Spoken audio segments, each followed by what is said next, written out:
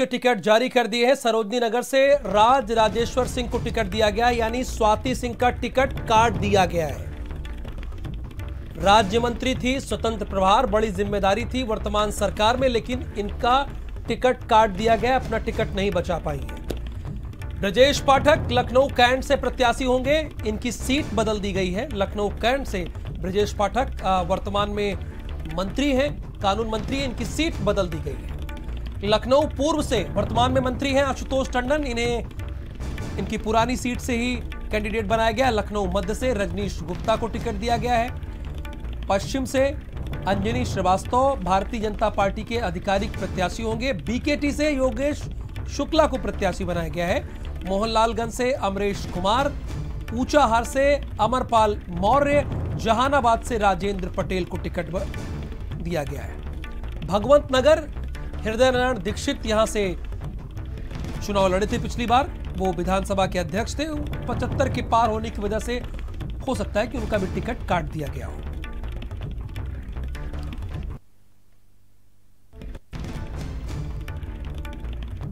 तो भारतीय जनता पार्टी ने अपने 17 प्रत्याशियों की सूची जारी की है और अब तक ओवरऑल 403 विधानसभा सीट में से 311 सीटों पर अपने कैंडिडेट का ऐलान कर दिया गया है। आज सत्रह सीटों पर। देखिए, चित्रकूट से चंद्रिका प्रसाद उपाध्याय, ये पीडब्ल्यूडी राज्य मंत्री हैं। वर्तमान सरकार में इन्हें बरकरार रखा गया है इनकी टिकट पर इन्हें फिर से लड़ाया जाएगा।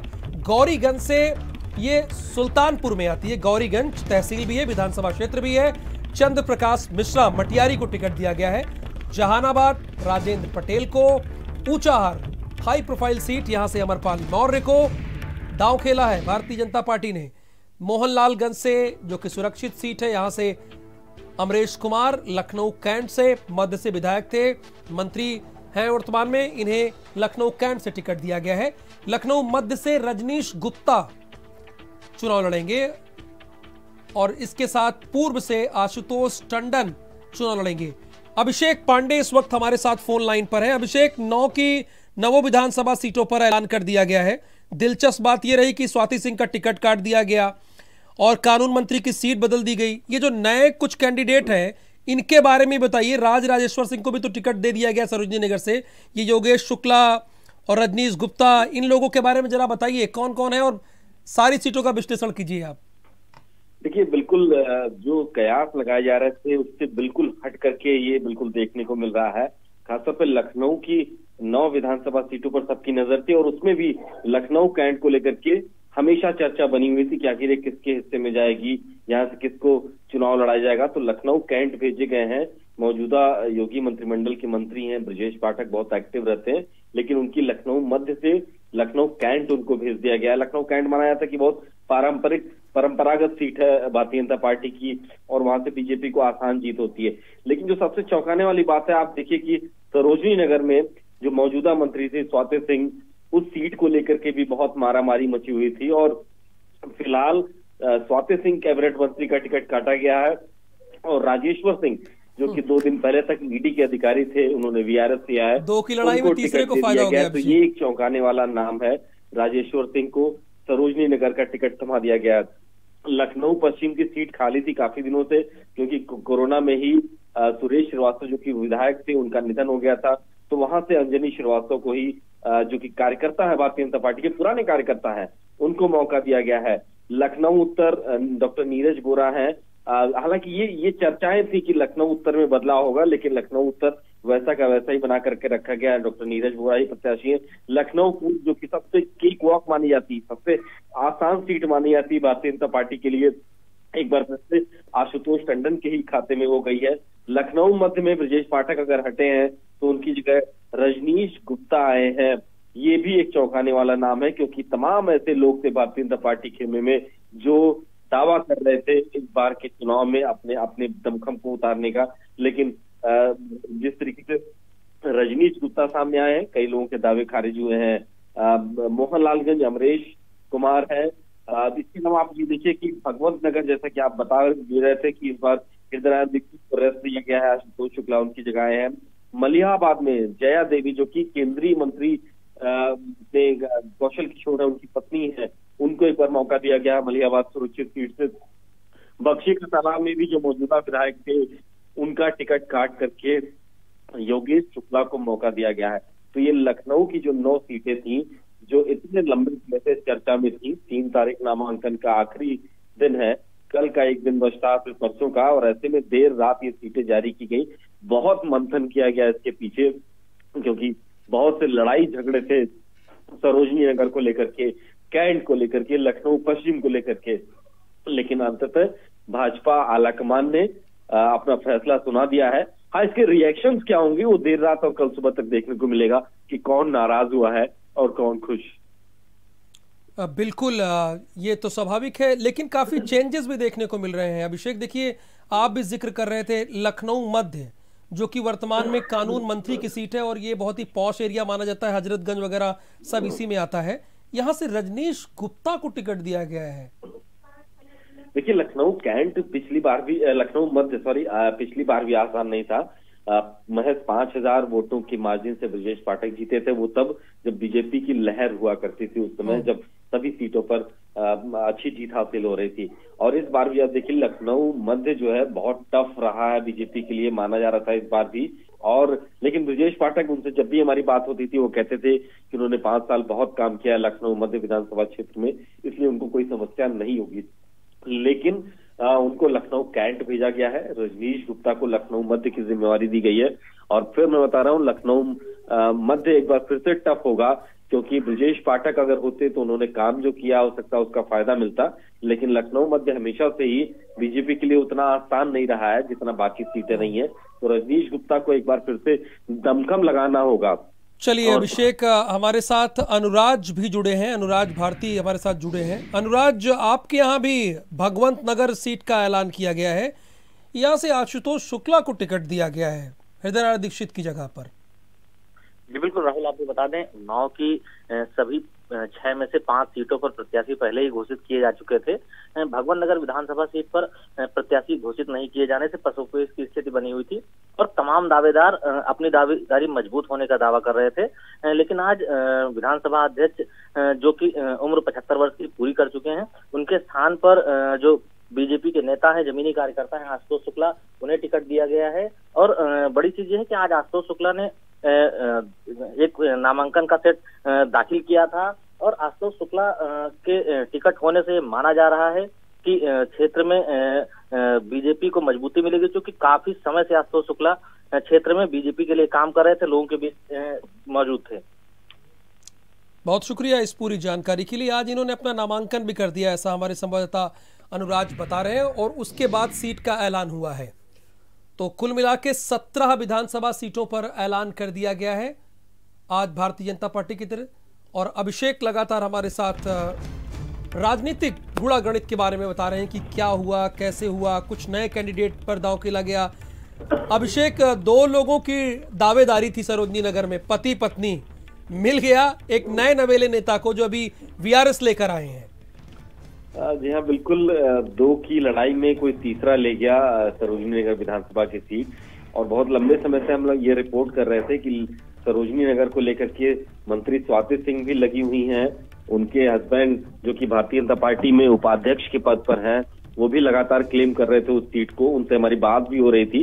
वो कह रहे थे कि वो प्रयास कर रहे हैं कि वहाँ से उनको मौका मिले। लेकिन ले गया कोई तीसरा, वो भी वो भी राजेश्वर सिंह ले गए जो दो दिन पहले तक बीजेपी के मेंबर भी नहीं हुआ करते थे, उनको अचानक से उन्होंने वीआरएस लिया और उसके बाद आज ही उनको टिकट थमा दिया गया सरोजनी नगर विधानसभा सीट की, जो कि बहुत ज़्यादा चर्चा में थी पति पत्नी के आपसी खींचतान में। तो ऐसे में न सौते सिंह को मौका मिला और न ही दयाशंकर सिंह को ये टिकट हाथ लगा है राजेश्वर सिंह को और अब वो बीजेपी के अधिकृत प्रत्याशी हैं सरोजनी नगर विधानसभा सीट से और स्वाति सिंह और दयाशंकर सिंह को उनके लिए मेहनत करनी पड़ेगी और उस विधानसभा क्षेत्र में।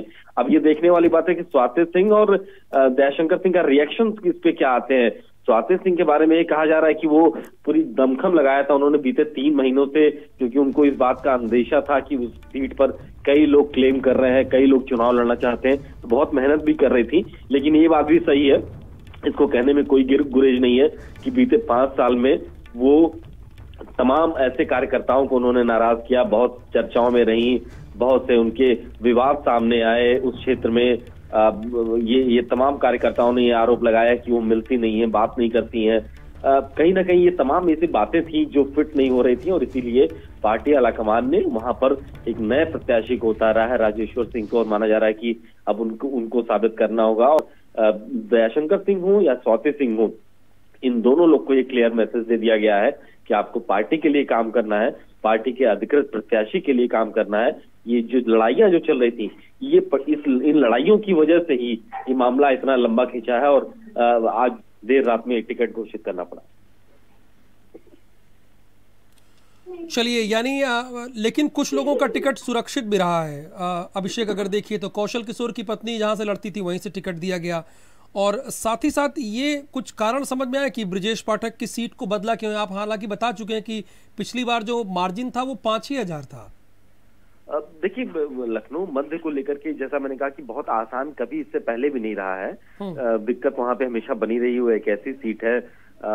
उसके उसके परिसीमन को आप देखिए मतदाताओं के और कास्ट वाइज इक्वेशन को भी देखिए तो बहुत ज़्यादा मुफीद नहीं होता रहा बीजेपी के लिए। लेकिन ब्रजेश पाठक किसी तरह उन्होंने जीत हासिल की थी। उन्होंने पाँच साल काम भी किया उस क्षेत्र में, लोगों से मुलाकात भी की। लेकिन बीजेपी को लगता है कि इस बार ये सीट आसान नहीं हो सकती थी। बीजेपी का जो इंटरनल सर्वे था, इसके अलावा जो थर्ड पार्टी ऑडिट कराया गया था, उसमें बात सामने आई थी। कई सीटों पर ये बात सामने आई थी, जो मुश्किल हो सकती थी, उसमें लखनऊ मध्य भी रखा गया था। और इसीलिए ब्रजेश पाठक को अब लखनऊ कैंट भेजा गया है। ब्रजेश पाठक का काम वाकई में दिखता है लोगों के बीच में, इसीलिए कम से कम बीजेपी को लगता था कि उनको दोबारा मौका मिलना चाहिए, इसीलिए लखनऊ कैंट उनको भेजा गया। और कैंट को लेके भी आप देखिए कि मारा मारी मची हुई थी। रीता भोगना जोशी हो, मौजूदा विधायक सुरेश तिवारी हो, इसके अलावा deputy CM doctor Dinesh Sharma का भी नाम सामने आया, और भी कई विधायकों का नाम सामने आ रहा था, कई कार्यकर्ताओं का नाम सामने आ रहा था, जो लखनऊ कैंट को लेकर के अपनी बात कह रहे थे, वो चाहते थे कि उनको मौका मिले। लेकिन मौका मिला ब्रजेश पाठक को, क्योंकि उन्होंने काम किया था। इसका इनाम कहा जा सकता है उनको दिया गया है और एक बार फिर से बाकी नेताओं को दरकिनार करते हुए उन पर भरोसा जताया पार्टी आलाकमान ने आ, बिल्कुल और इसके साथ ही चित्रकूट से जो वहाँ के विधायक थे और मंत्री हैं पीडब्ल्यूडी उनको भी बरकरार रखा गया है। जी हाँ बिल्कुल चंद्रिका प्रसाद को भी एक बार दोबारा मौका दिया गया है और पार्टी के पुराने नेता हैं वरिष्ठ नेता हैं और बहुत माना जाता है कि लोगों से मिलनसार हैं, बहुत आसानी से मिलते जुलते हैं, सबसे मंत्री रहते हुए भी हमने देखा था उनकी कार्यशैली, किस तरीके से अपने विधानसभा क्षेत्र में लोगों से घिरे रहते थे, अमूमन लखनऊ में कम अपने क्षेत्र में ज़्यादा रहते थे। तो इन तमाम बातों को देखते हुए आप इस बात को ज़रूर मानिए कि पार्टी ने जो सर्वे कराया था, उसका भी बहुत कुछ इनपुट इन सब विधानसभा में जो टिकट बांटे गए हैं, उसका असर दिखाई दे रहा है।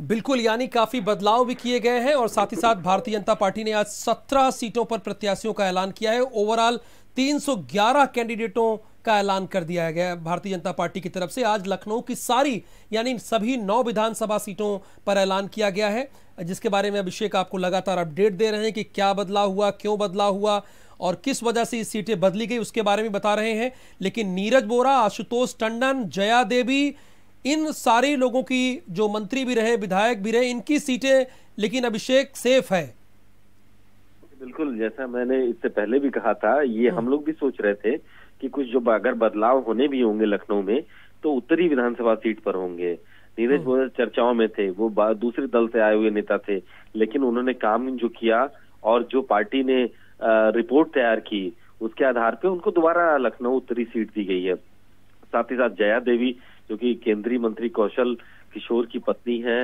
उनको मौका दिया गया है। लखनऊ पूर्वी सबसे आसान सीट मानी जाती केक वॉक जिसको कहा था कि लखनऊ पूर्वी से किसी को भी खड़ा कर दो तो बीजेपी वहाँ से जीत सकती है।